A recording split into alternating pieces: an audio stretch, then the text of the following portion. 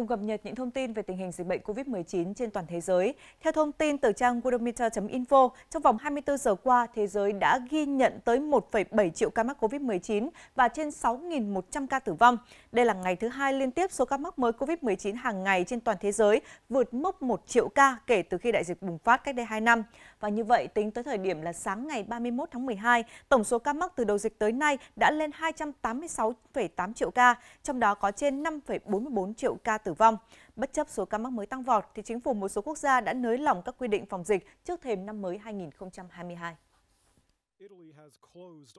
Ngày 30 tháng 12, Italia đã ghi nhận 126.888 ca mắc mới COVID-19, lần đầu tiên vượt mốc hơn 100.000 ca một ngày trong suốt gần 2 năm xảy ra đại dịch. Kỷ lục trước đó ngày 29 tháng 12 với 98.030 ca mắc mới. Số ca mắc mới COVID-19 tăng cao tại Italia là một phần của xu hướng rộng hơn trên khắp châu Âu, chủ yếu do biến thể Omicron có khả năng lây truyền mạnh.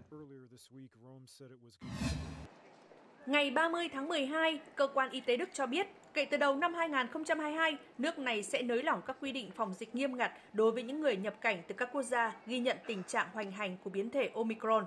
Theo đó, bắt đầu từ ngày 4 tháng 1 năm 2022, tất cả 9 quốc gia đang nằm trong danh sách các nước có biến thể Omicron hoành hành, gồm Anh và nhiều quốc gia ở khu vực miền Nam châu Phi sẽ được đưa ra khỏi danh sách này, song vẫn bị xếp vào danh sách các nước và khu vực có nguy cơ cao vì dịch bệnh COVID-19. Tối ngày 30 tháng 12, chính phủ Nam Phi đã thông báo dỡ bỏ lệnh giới nghiêm từ nửa đêm tới 4 giờ sáng hiện hành cùng với một số thay đổi khác nhằm nới lỏng hơn các quy định giãn cách xã hội chống dịch bệnh COVID-19 trước thềm năm mới 2022. Quyết định được đưa ra sau khi chính phủ đã cân nhắc về những thông tin cập nhật về làn sóng lây nhiễm thứ tư đang diễn ra tại Nam Phi, cùng với mức độ bao phủ tiêm chủng trên toàn quốc và khả năng đáp ứng của ngành y tế. Chính phủ Nam Phi tin tưởng rằng đất nước đã vượt qua đỉnh dịch của đợt lây nhiễm lần này.